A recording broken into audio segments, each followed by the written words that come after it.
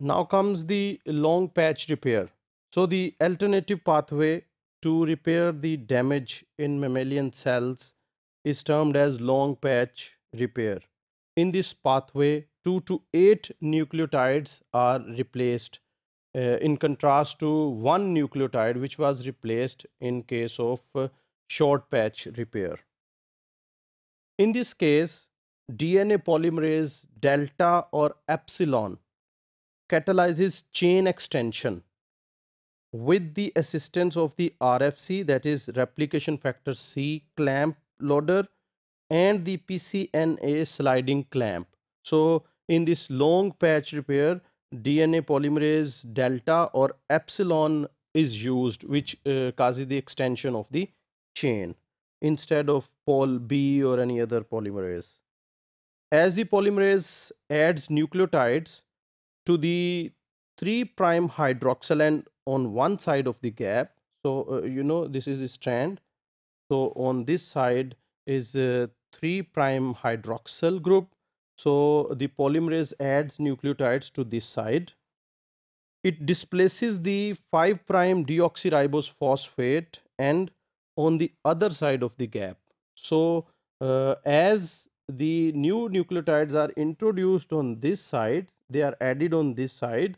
This on this side 5 prime deoxyribose phosphate is slightly displaced. This this strand is uh, gradually extended and this strand is gradually displaced. So in this way in this fashion it it goes on.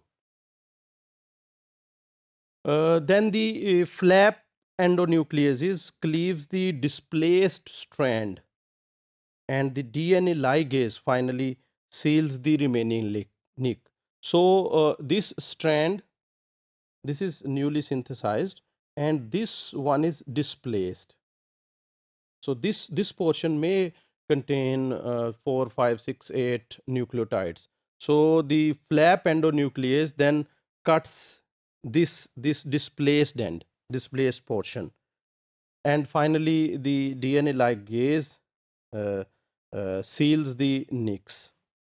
The regulatory mechanism that selects long or short patch repair is not well understood. If uh, there is uh, uh, some damaged DNA, the regulatory mechanism will select either short patch repair or long patch, patch repair. What determines this? This is uh, not uh, clear.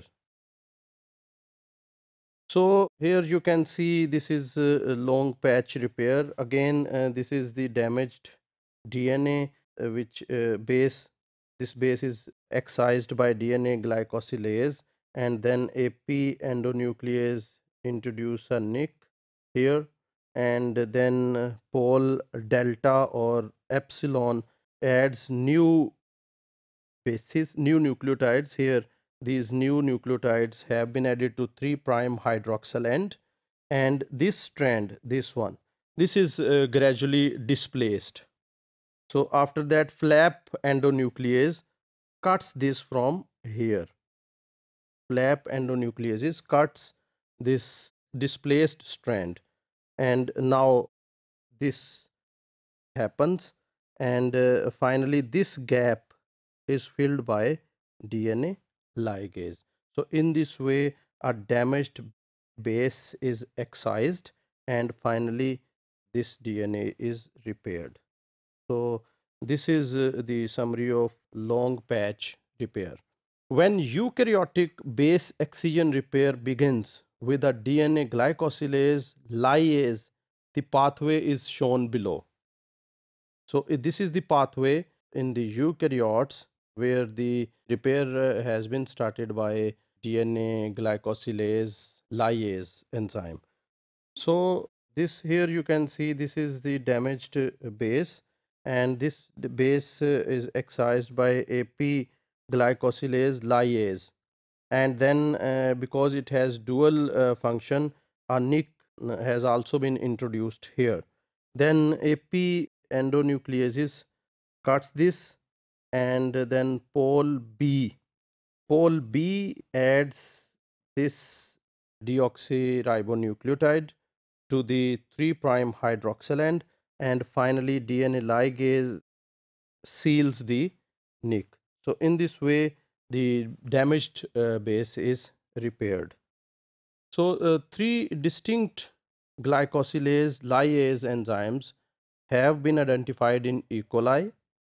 Three such enzymes have been identified in Saccharomyces cerevisiae while six such enzymes have been identified in human cells. Virtually all the oxidized bases are removed by bifunctional DNA glycosylases in mammals. DNA glycosylase lyase excises the uh, damaged base and cleaves the DNA strand 3 prime of the AP site. So on the 3 prime of the AP site, uh, uh, the strand is cleaved by this DNA glycosylase lyase. The resulting sugar residue at the 3 prime end is removed by the AP endonuclease catalyzed cleavage. So AP uh, uh, endonuclease uh, cleaves the sugar remained at the 3 prime end. Then DNA polymerase beta adds a nucleotide and DNA ligase finally seals the remaining nick to complete the short patch repair. So here you can again uh, see the same pathway. This is the damaged base and after a number of steps it is completely repaired with a new nucleotide here.